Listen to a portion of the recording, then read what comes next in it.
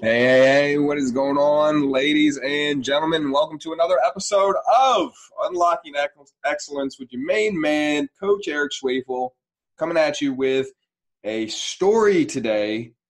Today, it's, it's, it's a really, really good one. It's one of my favorite. And this story is all about losing your temper, controlling your temper, why it's so important, important to remain aware and to not say things while in a heightened emotional state and especially a quote unquote negatively influenced emotional state.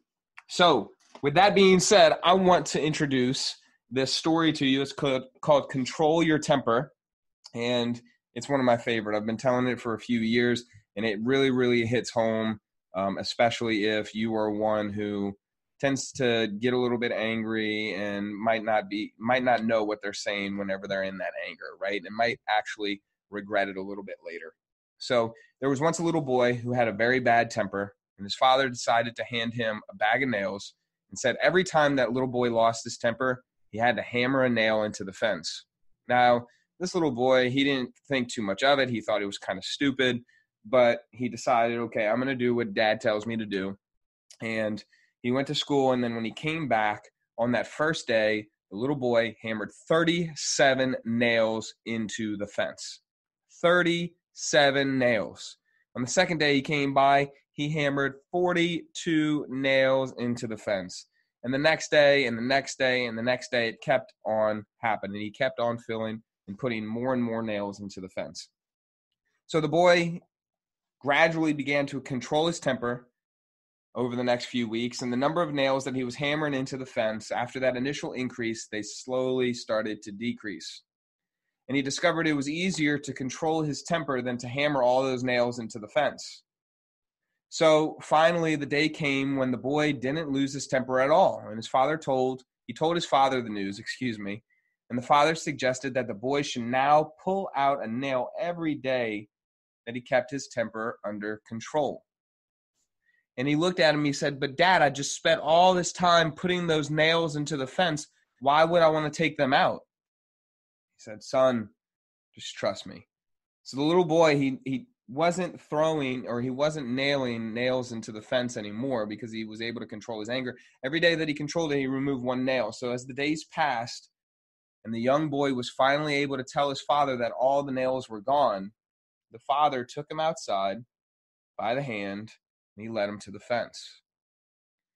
And as they led to the fence, he asked his son, Do you see all these nails in the fence? And he said, No, Dad, they're all out. He said, Right. They're all on the floor. They're bent. They're bruised. They're broken. They can't be used again. And he said, Yeah. He says, Do you see what happened to the fence? And he said, Yeah. He said, You have done well, my son, but look at the holes in the fence. The fence will never be the same the nails will never be the same. When you say things in anger, they leave a scar just like this one. You can put a knife in a man and draw it out. It won't matter how many times you say that I'm sorry, the wound will still be there.